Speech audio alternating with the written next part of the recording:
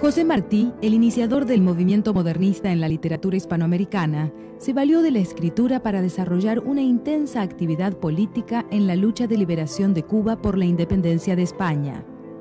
Ejerció el oficio de periodista para ganarse la vida y utilizó a los periódicos en los que participó como espacios para hacer circular sus ideas.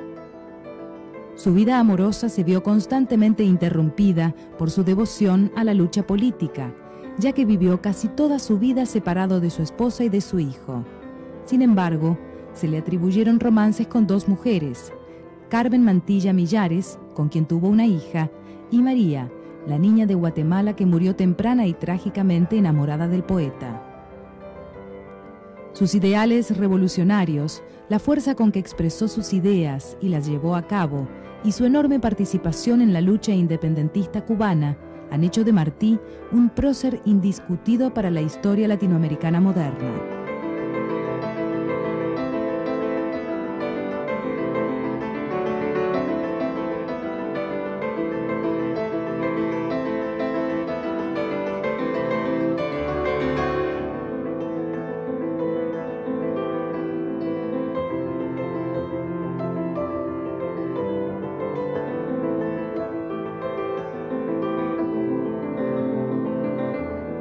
José Martí nació en La Habana el 28 de enero de 1853.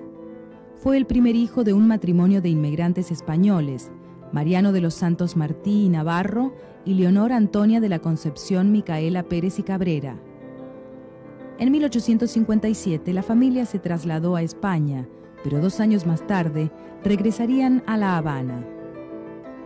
Hacia esa época Cuba y Puerto Rico eran las únicas eh, dos eh, islas, digamos, que habían quedado en poder del imperio español y no habían desarrollado el proceso de la independencia que se había dado en América Latina. Él era hijo de un oficial español y hay una frase de él muy famosa, él vio azotar a un, a un negro cuando era muy pequeño y desde entonces no se le había borrado la vergüenza de sus mejillas y también desde entonces había, se había jurado a sí mismo su defensa. En 1863, Martí viajó junto a su padre a Honduras Británica y a pesar de esta vida itinerante, finalizó sus estudios primarios en 1864. Al año siguiente, conoció al poeta y maestro Rafael María de Mendive, que se convertiría en una figura tutelar para él. Cuando estalló la revolución independentista cubana, el 10 de octubre de 1868, Martí se colocó del lado de los patriotas e hizo público su apoyo a la causa en artículos que aparecieron en periódicos estudiantiles. Primeras publicaciones, cuando está finalizando el colegio secundario, son un artículo político en contra del dominio español sobre la isla, que lo publica en una revista que se llamaba El Diablo Cojuelo, y otro que es un poema que publica en otro periódico que él mismo dirige, que se llama Patria Libre. La idea de patria ya está arraigadísima y ya aparecen los versos más tempranos de Martí. Y con la idea también de que el amor a la patria no es una declaración retórica, sino que es sentir su sufrimiento. José Martí es un caso muy especial. Yo no creo que haya en América, en nuestra América, un caso como el de José Martí. Es decir, hay intentos, como pudiera ser Sarmiento, en el sentido de, enseñador, el escritor que, es maestro, o libertadores como Juárez, pero esa conjunción de, un hombre que en definitiva se convirtió en un hombre de acción. Si, hay una guerra de independencia cubana en el año 95, se ve a las gestiones que hizo Martín. No es un sueño, es verdad. Grito de guerra lanza el cubano pueblo enfurecido, el pueblo que tres siglos ha sufrido, cuánto de negro la opresión encierra. Del ancho cauto a la escambraica sierra, ruge el cañón y al bélico estampido el bárbaro opresor estremecido gime, solloza y tímido se aterra.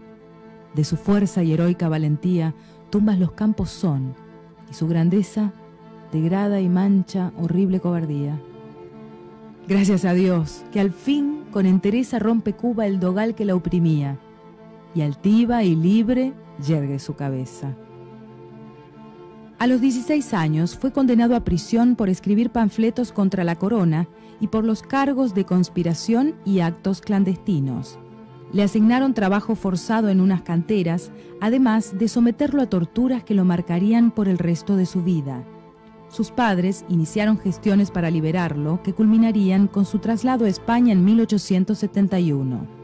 En Madrid, Martí se inscribió en la Facultad de Derecho, donde escribiría El presidio político en Cuba, un testimonio que denunciaba los sufrimientos pasados en prisión.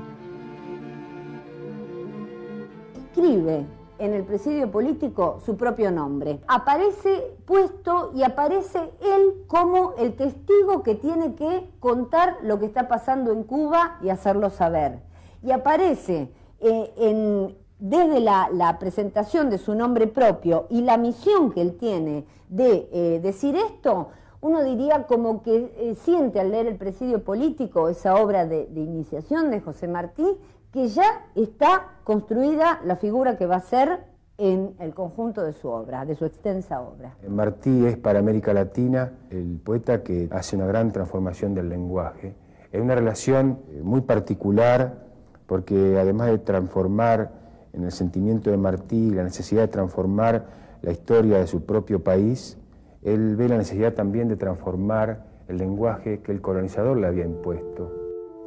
En 1873 se trasladó a la Universidad de Zaragoza, donde se radicó hasta terminar sus estudios de filosofía y letras y derecho, y luego de recibirse, decidió trasladarse a México. Allí trabajaría en el diario Revista Universal, escribiendo artículos periodísticos donde manifestaba su carácter de revolucionario latinoamericano y universal. Este fue el comienzo de una intensa vida intelectual para José Martí asume todo el, instrumental que la época, eh, que la modernización, digamos, del mundo y un poco más lentamente, pero también de manera inevitable, eh, de América Latina, le provee eh, a partir de la difusión de, una herramienta tan masificadora como el periodismo y como los folletines y como espacios que, se van volviendo cada vez más amplios, y a la vez es un intelectual muy sofisticado.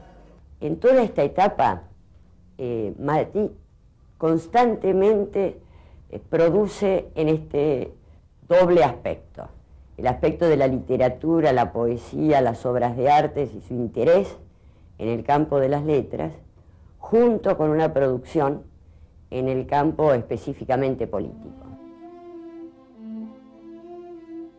Es tan bella mi Carmen, es tan bella que si el cielo la atmósfera vacía dejase de su luz, dice una estrella que en el alma de Carmen la hallaría, y se acerca lo humano a lo divino, con semejanza tal, cuando me besa, que en brazos de un espacio me reclino, que en los confines de otro mundo cesa.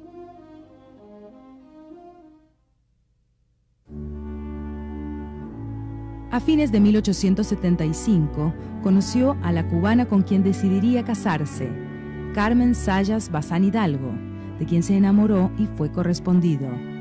Pero su estancia en México concluyó forzosamente con el golpe militar del general Porfirio Díaz, que cerró el periódico en el que trabajaba Martí, obligándolo a abandonar el país.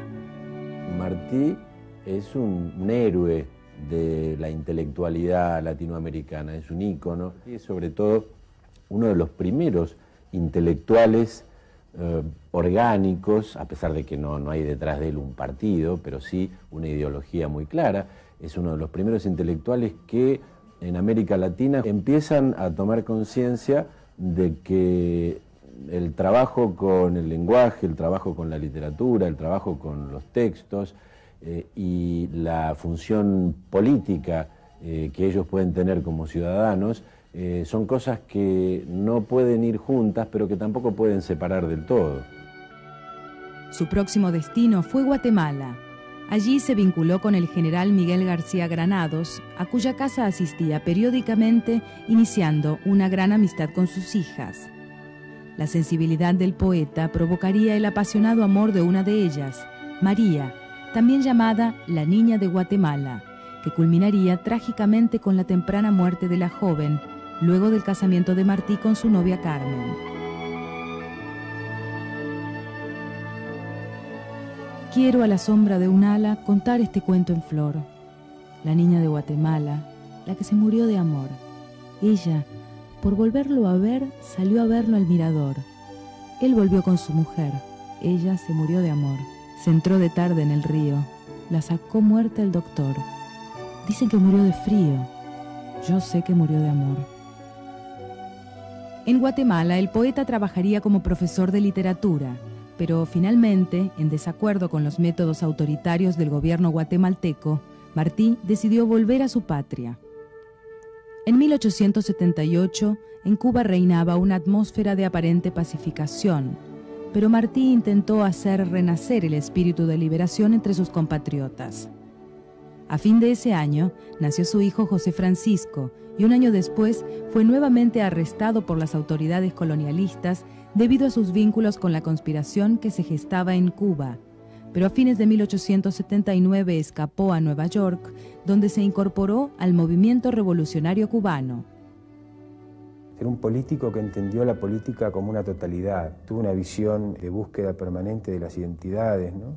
que nos corresponde a nosotros como latinoamericanos. Entendió esto como un fenómeno histórico y no en la propia coyuntura de la lucha contra España, sino que pudo ver el mundo y ejercer la política en una visión este, universal y en lo particular. Su gran obsesión es Cuba, es la independencia de Cuba, aunque esto no aparezca tanto en la poesía, pero si uno va un poquito más lejos, es, es la idea de libertad la que es así, uno la podría encontrar como a través de toda la producción de Martí, tanto la producción de artículos como la, producción poética. Este hombre, que tenía además el problema de haber tenido unas llagas que nunca se le curaron por los grilletes que le pusieron los españoles cuando lo condenaron a trabajos forzados cuando tenía apenas 16 años. ¿Cómo era posible que se moviera en un ámbito que era, que era, era ir de Nueva York en barco hasta Santo Domingo, pero por ejemplo ir a, Maracaibo y de ahí ir a caballo hasta o en, o en diligencia hasta Caracas. Es decir, cómo se movía, cómo se movió Martín tan pocos años en un ámbito tan grande como era esa zona de América. Su agitada vida dedicada por entero a las actividades políticas le trajo serios problemas en su matrimonio. Su esposa no quería seguir el camino de privaciones económicas y de devoción a la lucha política que había elegido Martí, y luego de unos meses en Nueva York, decidió volver a Cuba. Separaciones como esas se repetirían dos veces más y obligarían a Martí a pasar la mayor parte de su vida separado de su esposa y de su hijo. Es alguien que tiene una vida dura, aventurera, una vida desprendida de, prácticamente de todo valor material. Él a cada rato este, señala que sus trabajos pasan eh, de ser corrector a ser autor en la misma imprenta, va a ser este, cadete que reparte los libros. Esto va a tener un fuerte costo en su vida personal. Desde su arribo a Nueva York en 1880, Martí residió en la casa de la familia cubana Mantilla Millares, a quienes adoptaría como una familia sustituta. En enero de 1881 nació María Mantilla Millares y Martí fue su padrino. Algunos pensaron que la relación paternal y entrañable que Martí había establecido con ella compensaba la angustia por su hijo ausente. Sin embargo, también circularon rumores que le atribuían al poeta la paternidad de esa niña. Por un lado, Martí no renuncia a la complejidad estética de, su propia obra, no renuncia al papel público. Martí sigue en la trinchera, pero no permite que esa posición en la primera línea de tiro eh, lo distraiga de la complejidad de una obra estética que sabe que es además una obra ideológica, que sabe que es una obra política, pero que no deja de ser una obra literaria. En 1881, Martí partió hacia Venezuela, donde trabajó como profesor de literatura, colaboró en el diario La Opinión Nacional y creó la revista venezolana, redactada íntegramente por él y que ha sido considerada como el primer manifiesto del modernismo latinoamericano. Allí planteaba la necesidad de iniciar la revolución en toda América. Martí es de una generación anterior a eh, lo que nosotros conocemos como el modernismo en América Latina, sin embargo llega a ser uno de ellos pero es tal vez el que tiene una posición más complicada, una posición eh, menos estetizante eh, y a la vez tiene la prudencia de no intervenir en cada una de esas discusiones estéticas porque él tiene en claro que por encima de eso eh, está la necesidad de, dar la discusión en un terreno de mayor densidad y de mayor urgencia y de mayor gravedad, por lo menos en la coyuntura que le toca vivir, que tiene que ver con discutir los protocolos de legitimidad de nuestros países, que en el caso de, de toda la América, digamos, a fines del siglo pasado, todavía es algo discutible. Y algunas de las cosas de Martí entonces, aunque puedan parecer paródicas más tarde, son extraordinarias, como esa frase que dice él cuando llegó a Caracas. Si no, no pregunté dónde se comía ni se bebía, y sin siquiera sacudirme el polvo de la ropa, fui a ver la estatua del apóstol del libertador, que era por supuesto Bolívar. También en Caracas escribió una parte fundamental de su obra artística, Ismaelillo, un libro de poemas dedicado al hijo ausente, que ha sido considerado como el inicio de la poesía moderna en Hispanoamérica.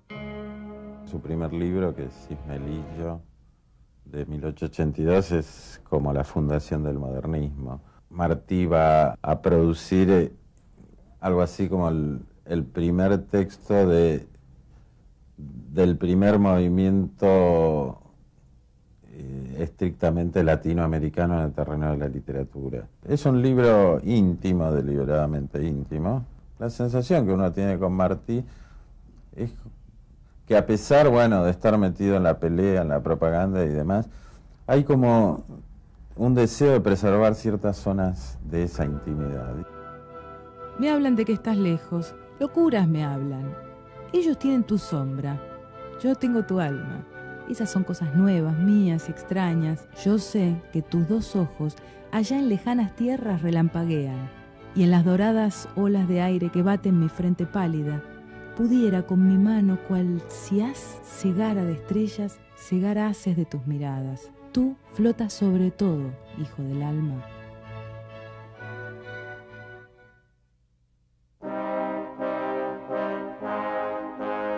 Expulsado por el gobierno venezolano por sus ideas revolucionarias e imposibilitado de volver a Cuba, en su condición de desterrado se instaló en los Estados Unidos. Los años que vivió en Nueva York estarían enteramente dedicados a los preparativos de la lucha liberadora. En 1884 se reunió en Nueva York con dos generales y héroes independentistas cubanos, Máximo Gómez y Antonio Maceo, para organizar un plan revolucionario que no se concretaría. Entre 1889 y 1893 escribió Versos Libres, un libro que no llegó a publicar en vida y que tuvo profundas influencias en el gran poeta modernista Rubén Darío. La idea es que esos versos son libres porque no están encorsetados. Se trata de este, una concepción de determinado modo de hacer poesía y que está peleando contra una retórica hueca, armada y que él ve asociada a las formas de dominación política. En Nueva York comenzó una intensa actividad periodística ejerciendo con absoluta maestría la actividad de cronista. Inició su corresponsalía para los diarios La Opinión Nacional de Caracas y La Nación de Buenos Aires, y con ambos tuvo conflictos por la radicalidad de su pensamiento. Durante 1889 escribió y editó La Edad de Oro, una revista infantil dirigida a todos los niños hispanoparlantes de América que solo alcanzó cuatro números. Hay anécdotas eh, célebres acerca de, que los tipógrafos y los correctores en los periódicos eh, corregían la prosa de Martí porque la sentían como eh, agramatical y era porque Martí escribía con una prosa mucho más sofisticada que la media del periodismo de entonces. Del horror que le producía a Martí el proyecto de anexión de Cuba a los Estados Unidos, surgieron los versos sencillos, que escribió en 1890 durante un descanso por prescripción médica para restaurar su deteriorada salud. Cada vez aumentaba más su reconocimiento público y ese año fue elegido presidente de la Sociedad Literaria Hispanoamericana. Hay algo de liviano en el buen sentido, del, de leve en, la poesía de, Martí que, que, que, descoloca un poco si uno va de la poesía a la vida, digamos, porque es como que no encaja del todo. Uno esperaría, bueno, algo muy desgarrado, muy nostálgico, muy penoso, y no está. Yo soy un hombre sincero, de donde crece la palma, y antes de morirme quiero echar mis versos del alma. Yo vengo de todas partes, y hacia todas partes voy. Arte soy entre las artes. En los montes, montes soy. Yo sé los nombres extraños de las hierbas y las flores, y de mortales engaños, y de sublimes dolores. Martí comenzó a ganar liderazgo en el Comité Revolucionario Cubano, planteando que no podían realizarse insurrecciones precipitadas sin crear un sistema revolucionario. En 1892 creó el Partido Revolucionario Cubano y fundó el periódico Patria. Desde esa época, Martí comenzó a advertir el peligro de que Cuba se independizara de España para anexarse a un nuevo amo disimulado, Estados Unidos. Ve el hecho de que España es el imperio que domina a Cuba, a Puerto Rico, pero que en realidad el verdadero peligro está en lograr la independencia de estos países porque, es esa frase famosa, he vivido en el monstruo y le conozco las entrañas, es decir, sé que Estados Unidos está dispuesto a balanzarse sobre América Latina como una gran área de influencia. El año 1893 lo dedicó a la organización militar, la recolección de fondos, misiones secretas, discursos y entrevistas en distintos países de América. Desplegó todo este esfuerzo a pesar de padecer problemas de salud. Sufría trastornos respiratorios y las secuelas del presidio lo obligaron a una operación. Estos preparativos le permitieron organizar para fines de 1894 un plan expedicionario para comenzar la guerra en Cuba sorpresivamente. Martí era un poeta y todo lo veía con ojos de poeta, con sensibilidad de poeta, pero demostró ser un gran organizador porque no solamente fundó el Partido Revolucionario Cubano, sino que era el, tesorero de esta, esta entidad para promover la posibilidad de un levantamiento armado en Cuba. Y si bien sigue desarrollando la obra literaria, el grueso de su actividad pasa a ser organizativa y política, porque plantean la articulación de los distintos grupos de emigrados cubanos para que desembarquen en Cuba. Es el intelectual que lleva sus ideas a la práctica. Una hasta la podría leer como una especie de antecedente del Che en un punto. Es el tipo, bueno, que es poeta, que pone sus ideas a través de la prensa, que hace campaña y hace propaganda y después cuando llega el momento del va y muere en el campo de batalla. En enero de 1895 partió rumbo a República Dominicana para encontrarse con el general Gómez. Durante su paso por el Caribe, dejó testimonio en su diario de campaña, donde revelaría que en ese momento gozaba de un modo de felicidad que hasta entonces no había podido disfrutar. El segundo diario de este, Cabo Haitiano a Dos Ríos ya es un diario de guerra. La escritura es absolutamente diferente, él está eh, hecho como, escrito como mm, fragmentariamente, en forma telegráfica en algunos casos, y en donde aparecen sus divergencias con la dirección revolucionaria. Él ve aproximarse la muerte todo el tiempo, lo está viendo presente, yo creo que inclusive habrá tenido conciencia tanto de este, la derrota del proyecto, digamos como que, el proyecto que él tenía, la divergencia que él tenía, pierde en esa discusión y además la proximidad de la muerte, como que bueno, ya queda, este, no, no hay, no veo otra salida. Dos patrias tengo yo, Cuba y la noche, o son una las dos. No bien retira su majestad el sol con largos velos y un clavel en la mano, silenciosa Cuba cual viuda triste me aparece yo sé cuál es ese clavel sangriento que en la mano le tiembla. Está vacío mi pecho, destrozado está, y vacío en donde estaba el corazón. Ya es hora de empezar a morir.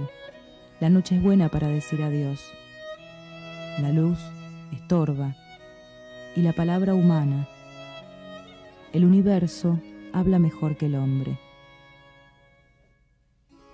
En plena organización de una guerra que debía ser rápida y fría como el rayo, Martí y sus hombres fueron atacados por sorpresa por una columna enemiga el 19 de mayo de 1895. Martí murió en el combate de dos ríos. Su cadáver fue llevado por el ejército español y sus restos descansan en una urna de bronce en el cementerio de Santa Ifigenia, en Santiago de Cuba, acompañados por un ramo de flores y una bandera que él pidió expresamente en versos sencillos. Es una figura que representa el pensamiento más lúcido, más elaborado de un país que ha sufrido las más diversas aberraciones del colonialismo y del neocolonialismo y que eh, mantuvo distintas formas de resistencia a través de las generaciones. Sin duda no hay en América hispana otro personaje tan activo políticamente y al mismo tiempo tan fundador como fue Martí. Era un hombre que era de un temperamento romántico, sin la menor duda. Es esto lo que lo, lleva a la muerte, el culto a la muerte de todos los románticos. Es por eso un personaje irrepetible.